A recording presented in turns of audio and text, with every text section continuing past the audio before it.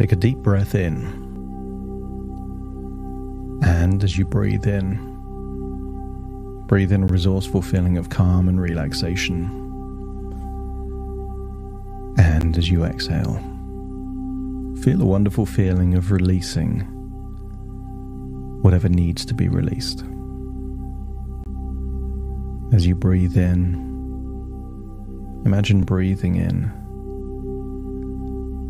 a bright, vibrant color that represents resourcefulness, fulfillment. Maybe a bright yellow, orange, pink, or purple. As you breathe it in, imagine it as a combination of bright light, but almost like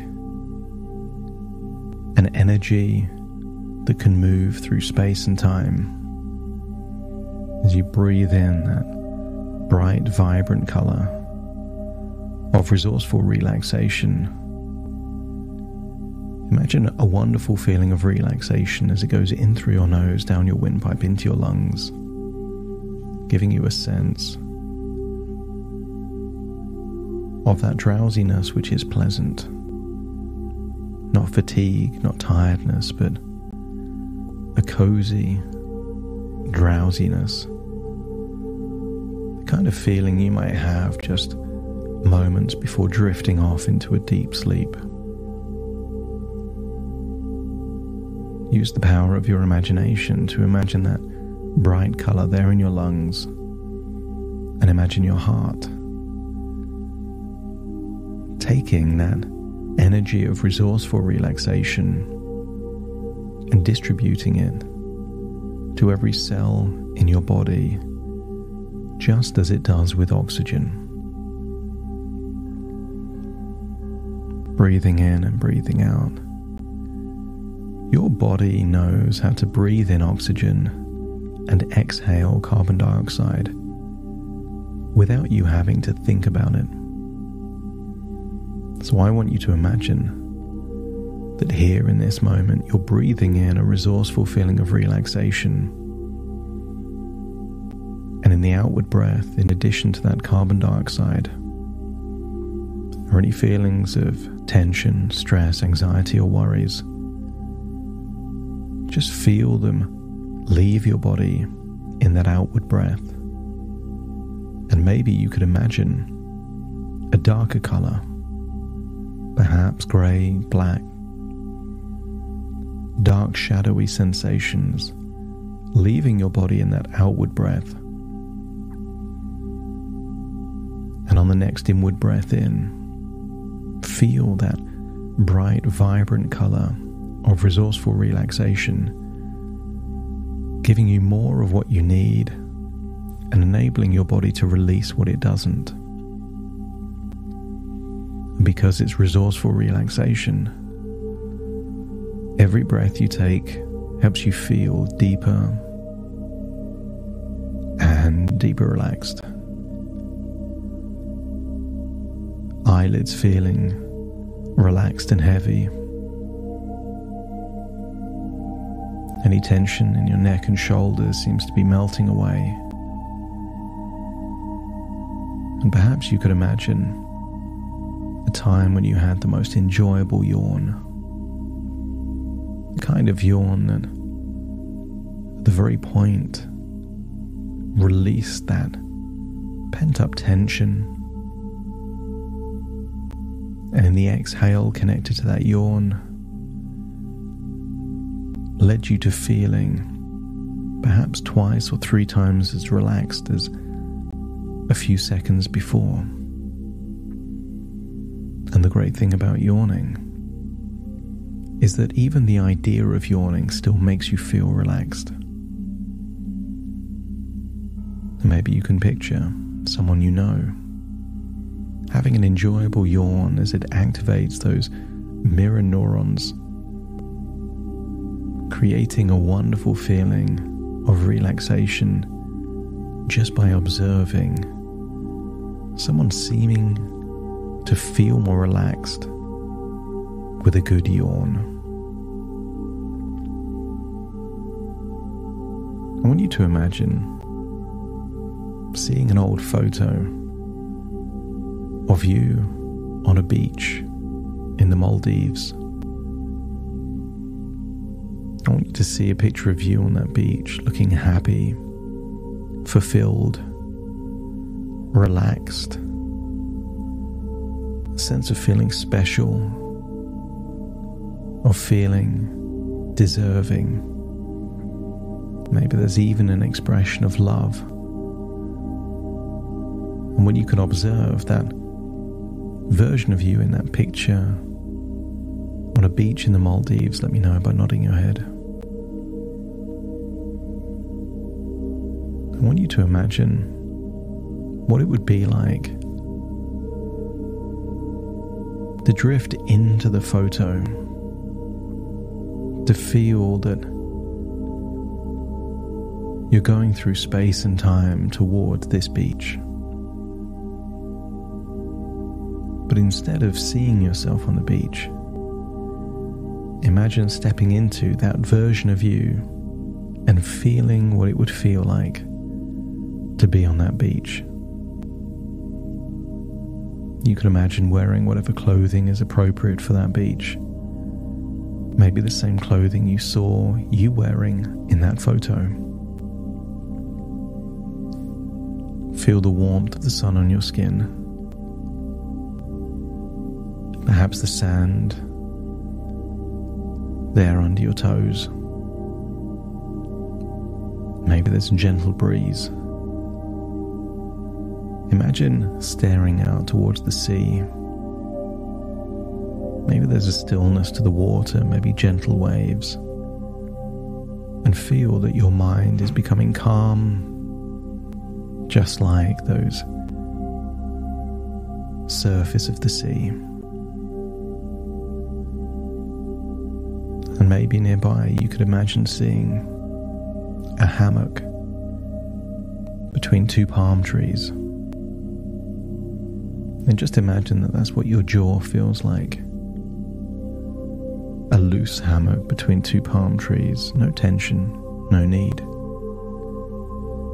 Breathing in and breathing out fully relaxed, and I want you to imagine what it would be like to walk to that hammock, place yourself in the hammock, closing your eyes, knowing that you're on that beach, under the sunshine, hearing the gentle breaking of the waves. As I count down from five to one, I want you to imagine what it would feel like to feel so relaxed. You imagine drifting off into a dreamlike sleep there in that hammock on that beach, feeling a wonderful feeling of relaxation. Five, just releasing any tension around your forehead, around your eyebrows. Just release it, let it go. Four, all the muscles in your face now going into your neck and your shoulders, just feel that that can be released too. Melting away all that tension. It's not needed here in your imagination. And then three, just feel your arms and legs are feeling so limp, loose, and heavy. No energy at all, they can just rest by your side as you feel wonderfully relaxed there on that hammock, on that beach, within your imagination. And then two, focus on your internal organs. Allow your lungs, stomach, heart, diaphragm, all the way into your gut to just completely relax, feel the relaxation. Notice that it's easier, almost effortless to breathe deeper than ever before. The deeper you breathe, the deeper relaxed you go, and the deeper relaxed you go, the more you activate what we can call the interface to your unconscious. And maybe you think of that as your imagination. As your body relaxes, your imagination awakens. And then imagine one, your whole body feeling wonderfully relaxed there on that hammock that you can drift off into a dreamlike sleep. And in that dreamlike sleep, I want you to imagine that you're watching you in the present one week from now with a different relationship to food. Just imagine that you're like an invisible entity watching your every move, but see you a week from now behaving differently. Stress at work seems to have less impact. You seem less bored. You seem more fulfilled, more choices, more empowered. And just imagine you continue watching yourself occasionally jumping into that future version of you, feeling how it would feel to feel this way in your future. Allow yourself effort, effortlessly to switch from first person to third person perspectives, back and forth. Sometimes seeing yourself as someone else, sometimes feeling like that future version of you, but with a different relationship with your emotions and food. Breathing in breathing out, feeling wonderfully relaxed. That's it. I want you to imagine viewing your emotions as guides, guides that lead you to healthy choices and actions, away from the path of emotional eating. And maybe you could visualize boredom as a bright signal urging you towards new challenges or goals that spark joy and fulfillment. And what if you feel a surge of energy when you're low? Interpreting it as a call for inspiration or a new adventure that enriches your life. See impatience not as frustration, but as an opportunity to shift your focus engaging in activities that bring you peace and satisfaction. And what if stress was a catalyst for action? Prioritizing those tasks or letting go of what no longer serves you. See yourself replacing the urge to eat with a drive to either accomplish or to be decisive. Interpret anxiety as a prompt to prepare and plan, or to find peace in acceptance. Channeling your energies into solutions rather than snacks. Jump into that first person perspective and truly believe in the power of your emotions to fuel positive change, steering you away from emotional eating and towards actions that enhance your well being. In the past, you've been rewarding yourself from having that food. The dopamine comes from the gratification, but I want you to feel a deep sense of accomplishment with every healthy choice reinforcing your decision to use emotions as signals for constructive actions or constructive decisions. Trust that with each emotional cue, you're equipped with the insight to choose activities that fulfill and nourish you beyond the physical. As you accept the suggestion that when your emotional needs are being met, your appetite reduces. In the past, you've had an idea that somehow you need to feel full. And allow your mind to update that, that you have a desire to be fulfilled, that fulfillment is infinitely more important than how full your stomach is. Imagine your life enriched by engaging in activities that address your emotional needs, leaving no room or desire for emotional eating. Now see yourself like you're seeing a third person and visualize yourself responding to feelings of boredom with creativity and curiosity, exploring new hobbies or interests that captivate your mind. If there is a lack of stimulation or challenge in the workplace, feel that that is just a signal for you to increase the stimulation in different areas of your life. And when you feel low energy, see yourself invigorated by seeking inspiration from books, nature, art, rejuvenating your spirit without any need to turn to food. And maybe your talent for cooking can become more challenging by cooking foods that are delicious and healthy at the same time.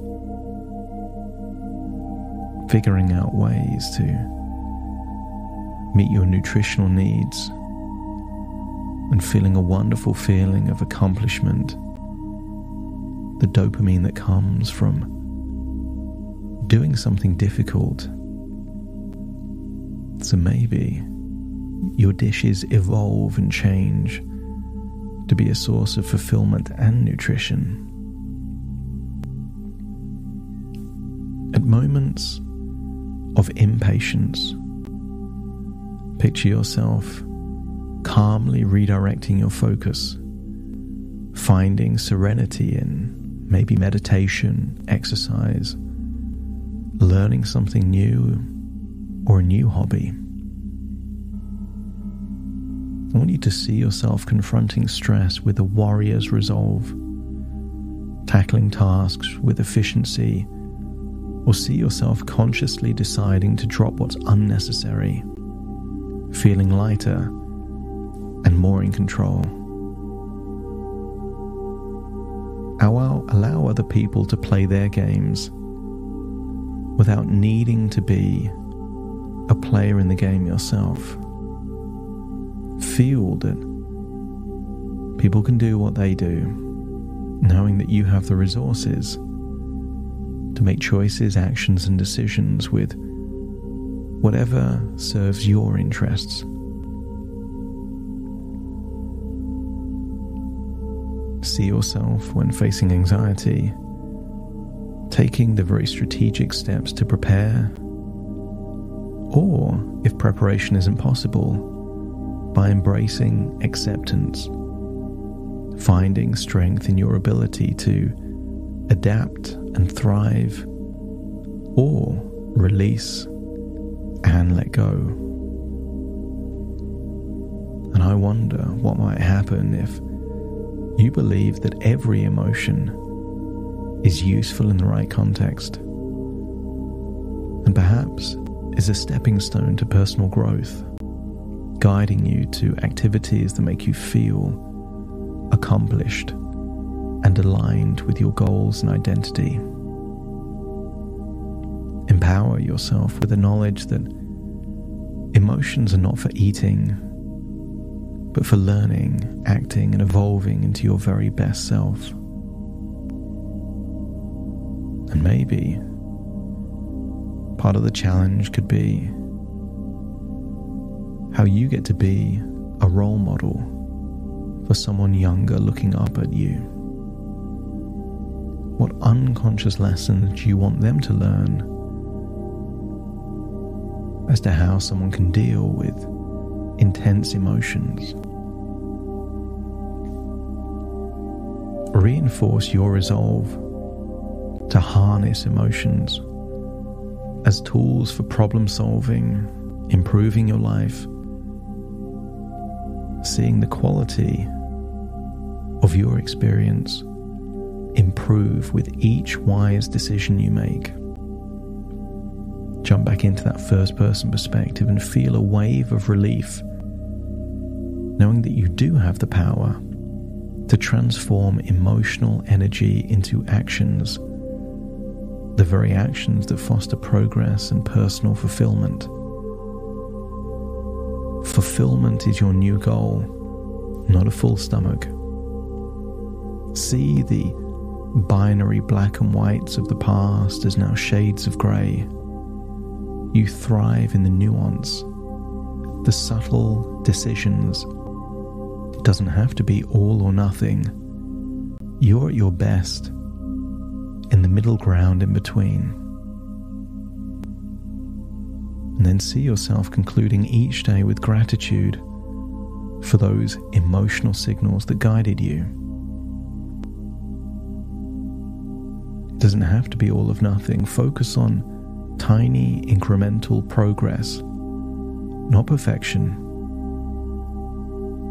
Every tiny improvement, every pattern you break, every habit where you do something slightly different is a victory, creating evolutionary change that will take the very version of you a year from now or two years from now to become a very different version of you.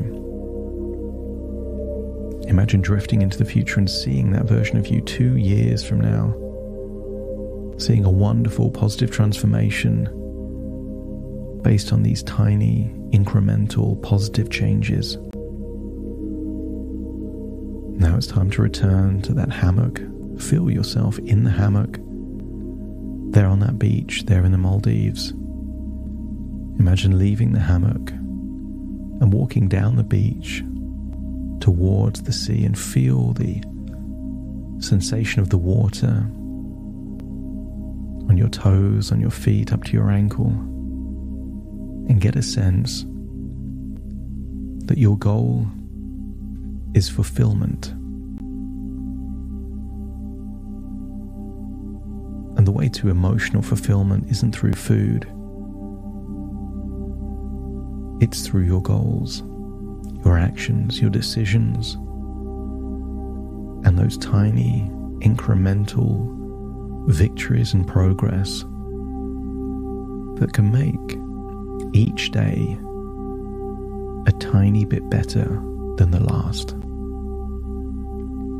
It's time to return to the present as you take a deep breath in through your nose and out through your nose. Feel like you're going backwards through the photo into your physical body Wiggle your fingers, wiggle your toes, connect fully with the present moment. As I now count from 1 to 10 to awaken you, you will awaken feeling resourceful, feeling a sense that you now have a new game to play, a game of fulfillment. And that game is enhanced the more you listen to your emotions. Starting to count to awaken you. One, two, three, waking up. 456 more alert. 7 8 open your eyes, open your eyes. 9 10 wide awake, wide awake, wide awake.